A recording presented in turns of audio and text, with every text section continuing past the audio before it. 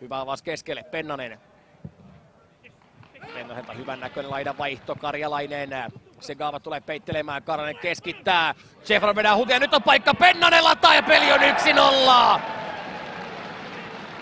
Välittömästi kun tulee pienikin virhe Rops puolustuksessa, niin Kups kurittaa armottomasti.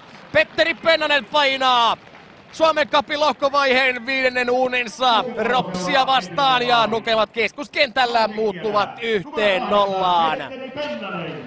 Erinomaisesti Maalivahti Reguero, Murillo tulee taitavasti eteenpäin, edelleen Murillo. Purje. Keskittää hyvän näköisesti Nissilä jatkaa, mutta ei mikä koppi Antonio Reguerolta. Keskelle. Paljon kupsille, Nissilä. Purje.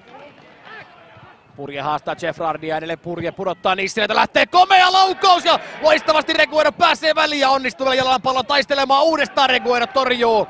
Ja Okkonen pelaa viereen. Toivomäki, Murio. Eteenpäin Niskaselle, Niskanen lähtee haastamaan nyt sitten Leo Väisästä, Niskanen keskittää matala pallo, hyvin tulee Hämälle väliin, Karjalainen vetää osuko tolppaan. Karnen ottaa pallon edelleen peliin, Sega vähäntä vastassa ja ai mitkä puikot tulee nyt sitten Karjalaiselta.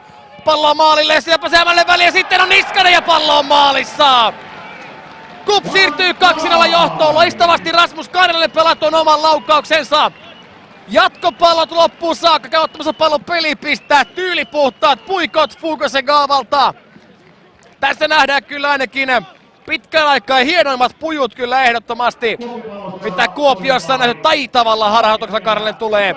Peläpallo etualueelle, Hämälä sielasta pallo kimpoaa maaliviivalle ja Ilmari Niskanen siivoaa karat sisään. Peli on 2 Aivan upea harhautus Karjalaiselta ja voi kyllä sanoa, että saadaan missä vaiheessa Fugo Segaava tästä jallituksesta toipuu.